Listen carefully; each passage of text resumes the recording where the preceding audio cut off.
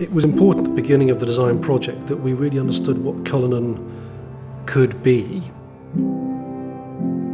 Our challenge was to match this absolutely luxurious world, perfect craftsmanship, absolute comfort and, and, and well-being on the interior with this more hostile world, challenging environment, putting this little luxury capsule into that space.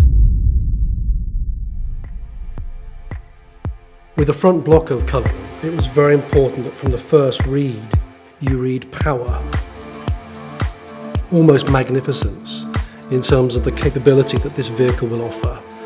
Very, very sheer horizontal front bonnet and the bluff front nose, the way that the cowl projects forward where the V12 is housed.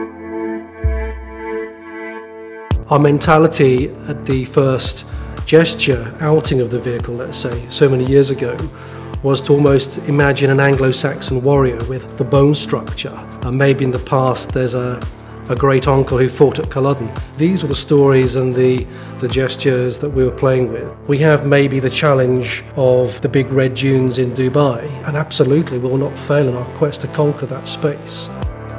But on the other hand, whether it's the opera or the red carpet, Cullinan has to balance those two concepts beautifully. Nobody else can do that, but Rolls-Royce can.